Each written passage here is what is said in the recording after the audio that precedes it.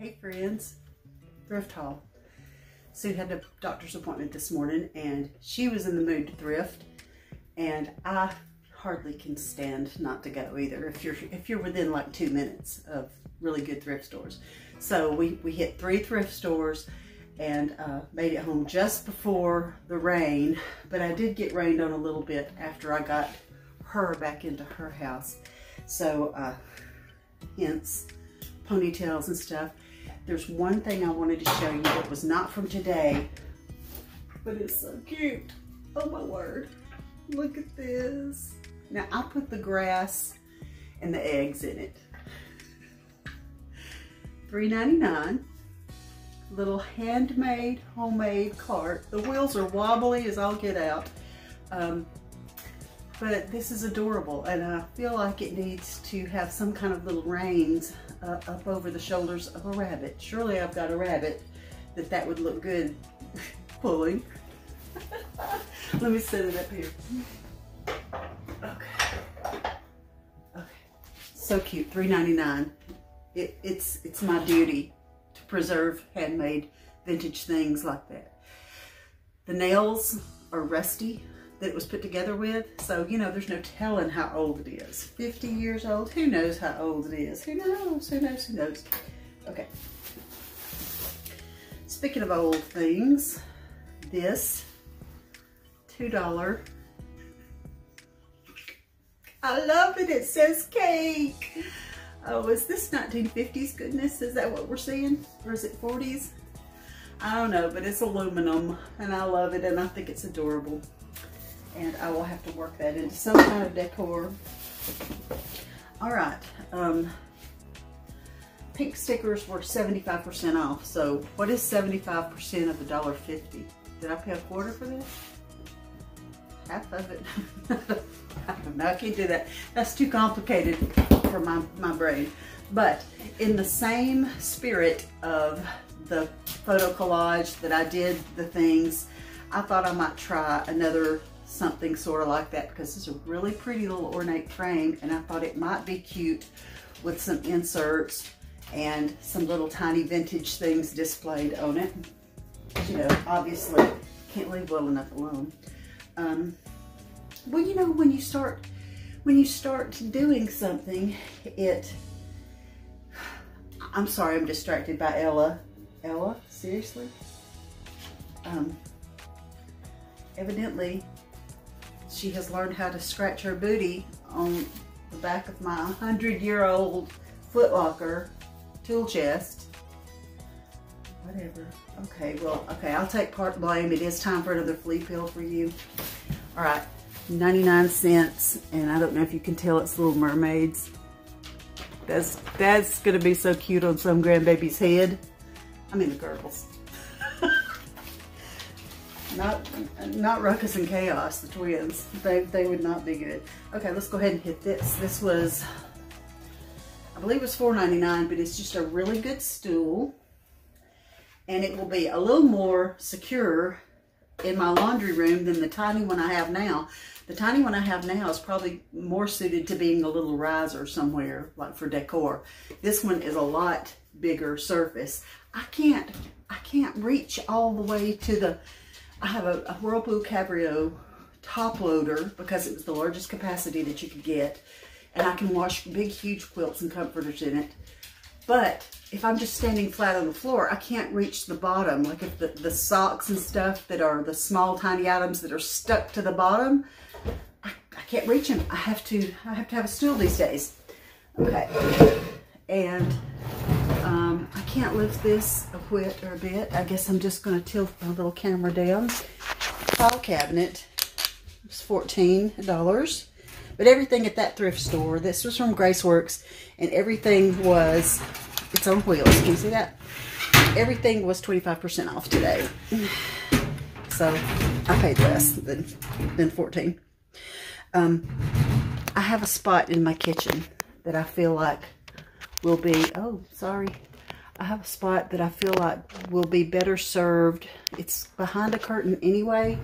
And I've been thinking for a while, wouldn't it be nice if I had a file cabinet to go under there because it's a deep spot just an odd little place and I can't get to my stuff. And so everything just gets mushed in there and then I can't get, I have no idea what's in the very back. You know, I, I lose track of what's back there. And then I'm just using the stuff that's on the very front. It needs, I need a better system, so we're gonna try that. Okay, this was a dollar and this, I'm not doing a basket wall um, currently, but Olivia, I gave the baskets that I had on my basket wall. I let her have them in her house so that she can so that she can do a basket wall and it's looking really cute and she's got room to add to it. I don't know what that is.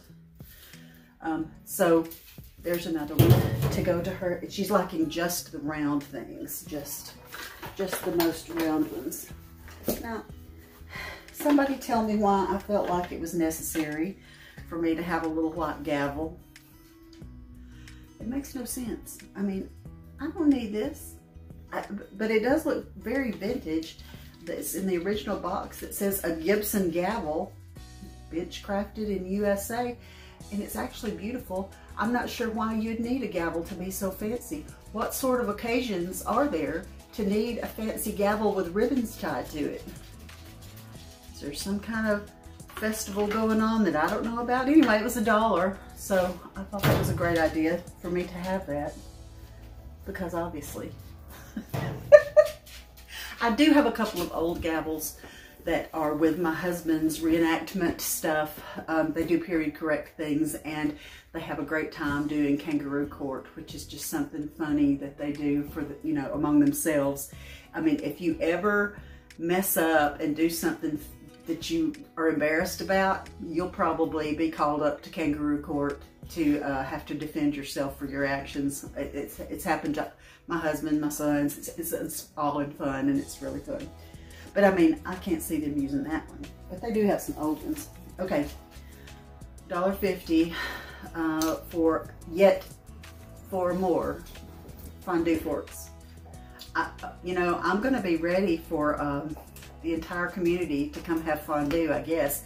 But I don't know, they're just so pretty with the little wood and the colorful little markers on them and everything. And I'm just like, well, you know what? If I'm gonna try to have a lot of fondue forks together, well, let's just have a lot of fondue forks. So, you know, because everybody needs a lot of fondue forks.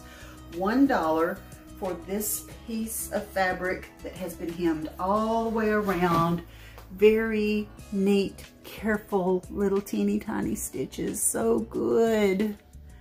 Feel certain this is from a flour sack. It looks very flour sack material and it's pretty and I have no idea what I'll do with it, but you know, I do things with this stuff. And it is my job to preserve it. If I find things that are truly vintage from the 1940s, I'm, I'm you know, I mean, unless it's like a cow castrator, I'm, I'm not gonna leave it there. I won't be bringing home crazy farm implements. I mean, never say never, but I don't think I would bring that home. But if I find things like that, you know, I love fabric. I think that's why I love the Vera Bradley purses and totes and luggage and all that is because the quilted fabric just appeals to my love of fabric and love of quilts in so many ways. Um, so, but you know, I'm proud of myself. I have not purchased anything new Vera Bradley. I mean, when I say new, I get my Vera Bradley at the Pigeon Forge, Tennessee uh, outlet. The Tanger outlets have a Vera Bradley store. And a lot of times you'll find stuff 50, 60, 75% off in there. So if I'm gonna buy a new piece, I wait until we're going to Tennessee and that's where I'll get my stuff. Or when I was really addicted to Vera Bradley, I was buying my stuff on eBay. And that was the days before Facebook Marketplace. I haven't even really looked since Facebook Marketplace came out.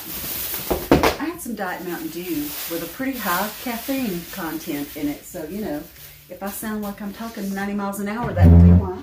That would be why. Okay, here's a couple of books that are from the 1960s. The Sailor in the Bottle. I thought this would be good, stacked with some of my other blue things for the Americana. And this, The Generous Years.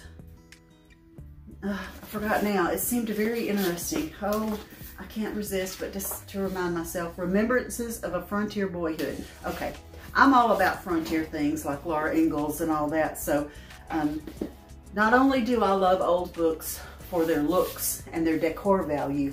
I love old books because I actually read them. I love to read and I don't want to forget about the joy of reading an actual book with pages to turn and you can smell the old smell coming out of these books and realize that we have not always lived in an electronic and a digital age. Okay, now I'm not even pretending to give identity to where I got things, but I did go, the, the three places I went were all in Guntersville. I went to Grace Works, I went to Goodwill, and we went to the home place. Now, what I paid, $2.99. He's a little bright on the beak and on the feet, so I think I can, um, think I can refresh him to make him not quite so neon on the colors there. Although he's not bad, $2.99 and he's not bad. He's not offensive, but you know, it's hard for me to resist. It's hard for me to resist painting these. If I feel like I can do a new thing painting. Oh, this is so fun. These are fun, these are fun. Okay. Um, oh, where's the other two? There they are. Okay.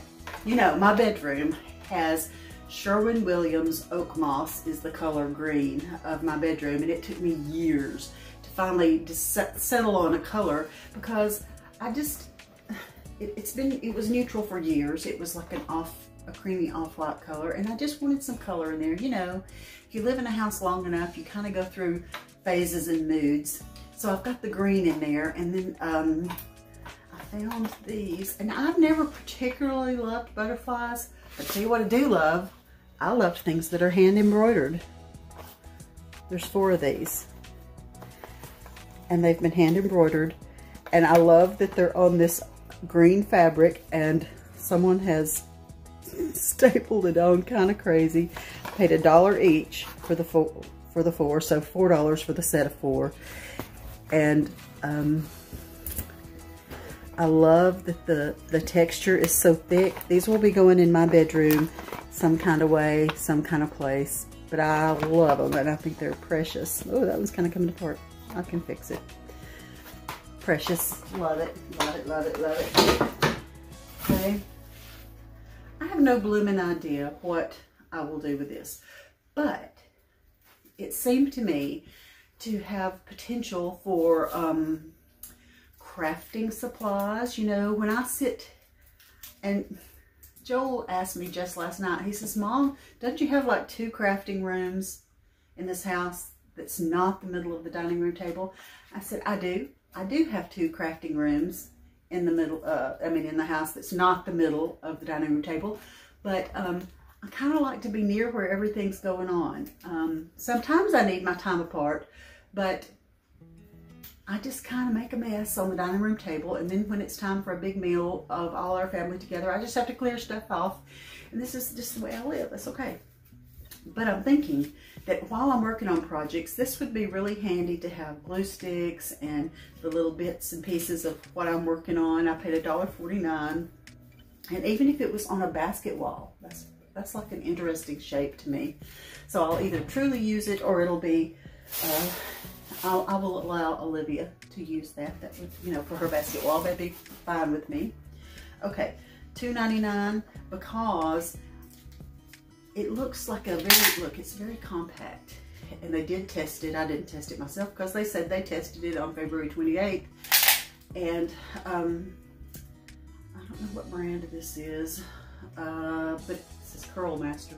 What I really thought was that this might be handy to keep while I'm doing my craft things. Sometimes I want to quickly dry a coat of chalk paint or something so that I can just immediately go on to the next step, whether, you know, after chalk paint, sometimes you just want to immediately go ahead and put the wax on it and that kind of thing. So that's good.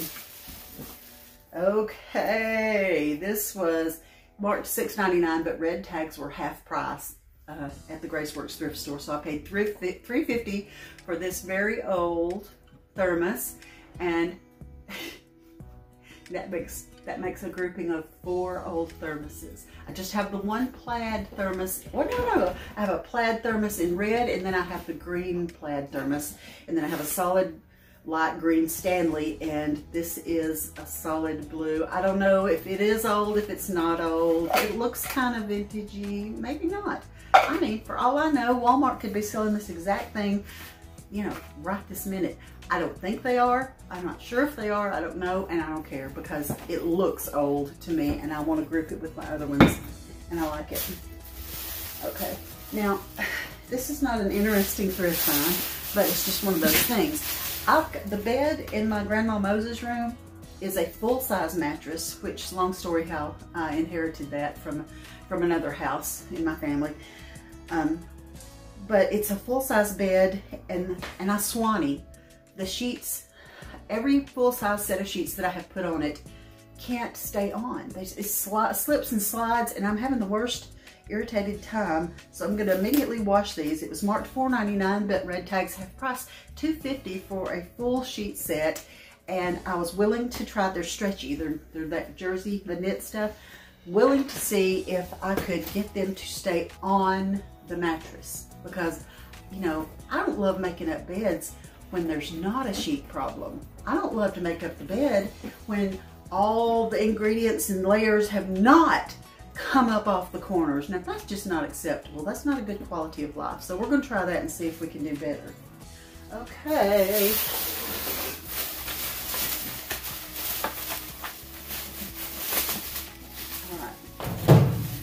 Couple of books for myself. Jane Eyre. I think I've read it before, but um, it's it's just pretty. I like it. So I'm going to read it again. Because um, I don't, if I do have a copy of it, I have no idea where it would be. And here's a little Stuart Little from the early 70s. I think it said 1972. And uh, think that that's sweet. The illustrations are very sweet. E.B. White. I think the illustrations. Uh, Garth Williams is the illustrator of the Little House on the Prairie series. So for Garth Williams, these these illustrations by Garth Williams are they're tops. They're number one to me. Love it. Okay, the other two books I got from my son-in-law who is a history teacher. He teaches middle school history and he just said on Saturday, if you come across good books about history, any kind of history, he teaches world history. Um, But he said, really, any era, any any ge geographical area, anything, if you come across it, pick it up for him. So he will be glad to know that he is now going to be the owner of a Napoleon book. I really think 8th graders would enjoy the way this is illustrated. It has really big photographs and illustrations. It's photographs of art and things like tapestry and stuff. I don't know. Was it what I paid? Two, two something? And then the other one is First Ladies, which um, I assume United States President's Wives. Is that the First Ladies we're talking about? Yep. Yep, yep, yep. Oh my. Okay. All right. So that's for Will. Where can I put that? Put that over there. Okay. Have no blooming idea what I thought I was going to do with that, but for 99 cents, it's got really sturdy wire in it, and I felt like it would be really good as an anchor for a vignette. You know, sometimes when you're doing a little grouping of decor, you just need something to group things onto and to let some greenery flow from one place on it to the edge or something. I just I just thought it was really sturdy and good for 99 cents. So, um, and it, I would put it on a basket wall, but I think Olivia's looking only for round pieces.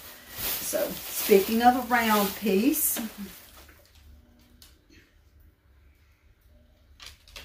this came from the Target dollar spot for $5, but I paid $2. And I'm thinking that, um, you know, Yvonne, Yvette, Yvette, Yvonne from Ginger Chick Rehab. Sweet lady, I love to watch her.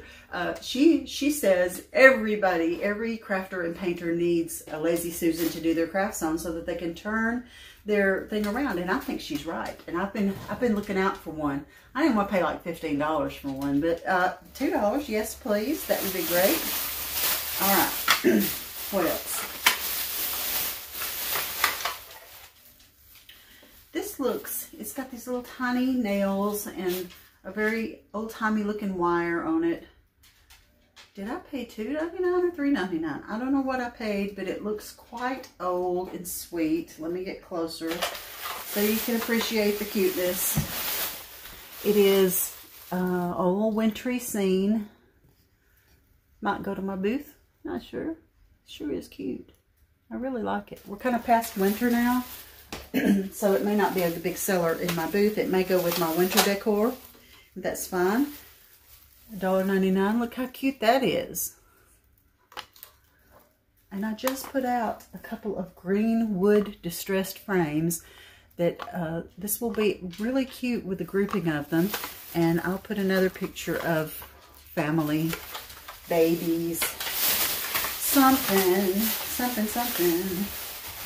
Okay, for 99 cents, little wood, actually this was 79 cents, little wood easels, you know, always, always useful. I like the wood ones um, that fold this way. You can get plastic ones, but you know, the wood ones are just prettier, sturdier.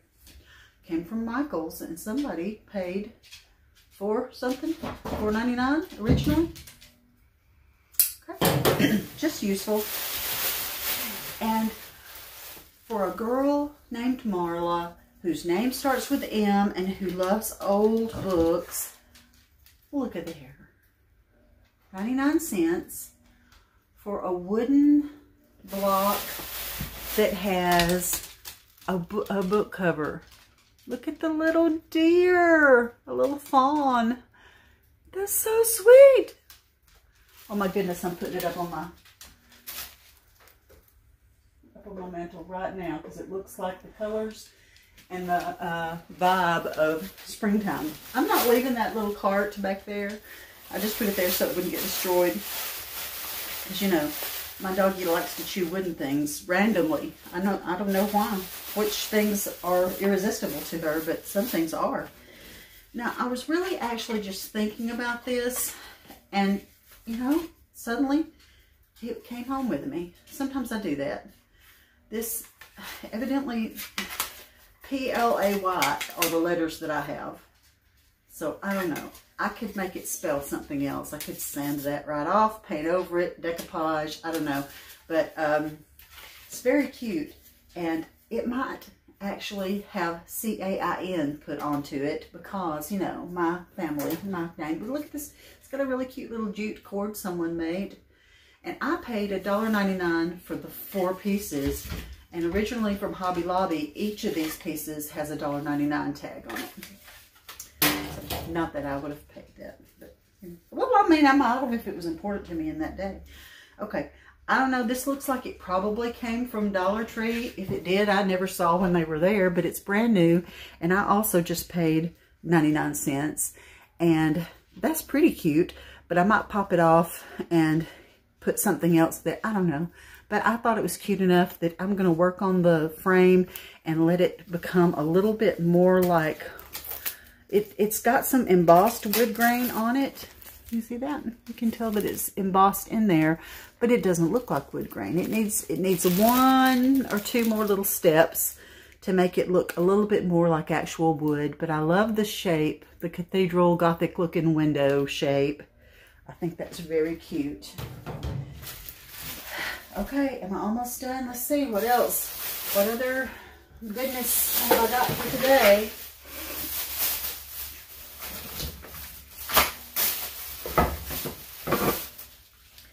Okay, this this was half price, so marked one dollar. I would have paid just fifty cents, and it's the tiniest little wood shelf. And I think I'm gonna put this under. I've got an idea for it under a picture with some teeny tiny little things on it. You know, I'm really into shelves lately. I mean, fads come and go, styles come and go. It may occur to me one day that I have a shelf under every blooming mirror, above every blooming piece of furniture in my house. But you know, it, it kind of doubles your, uh, your surface area for displaying your pretty little things. So for now, I'm loving little shelves and I love hanging them under a picture or under a mirror or in a, a little tiny spot somewhere and put little things. It's just for fun, you know.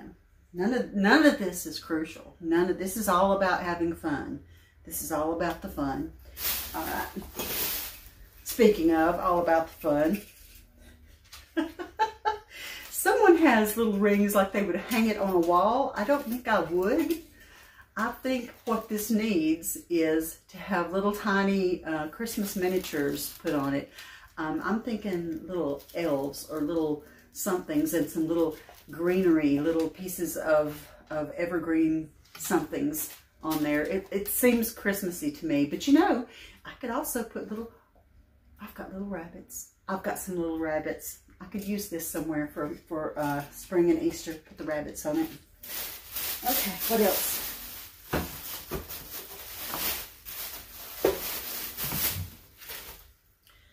99 cents for a brass candle snuffer. You know, put it right out. The beauty of doing it this way is that when a candle has been burning a while and it's got liquefied, melted candle up around the wick, if you blow it hard, a lot of times that wet liquid candle will just spray out and you've got wax everywhere. This has some somebody somebody has dipped this into the wax as well. But the better thing about this is if you can put it out in this way, it, it avoids the splash effect. Now, um, I, I'm sure I already have enough honey dippers, but that's going to look really adorable in my tiny little crock with tiny little wooden um, kitchen utensils. So, not at all necessary just fun. Okay. Now, this thing, I thought it was wood carved, but I'm pretty sure that that's some kind of embossed leather. Paid $4.99. It's truly wood. But you can't really see the detail super, super distinctly so I'm, I'm probably going to do a coat of white wax over this and display it kind of open with some cute little vintage things in there. Oh, there's one more. Let me go across the room and get one more thing from the other day. The same day that I found the little, uh, I'm calling it a goat cart. I don't know if it's a goat cart, but that old cart. I also found these. Somebody comment and tell me what in the world these would be if not just toy bowling pins. Like, I mean, they're different sizes though, but can you see anything that would give you reason to believe that they're used for something else? I love them like crazy. I think they're adorable, and I think that they probably are little vintage rolling pins, not rolling pins, uh, bowling pins. That maybe went with a toy set. I mean, I can't imagine what else they would be. If not that, what are they? I don't know. Okay, last item. And, okay.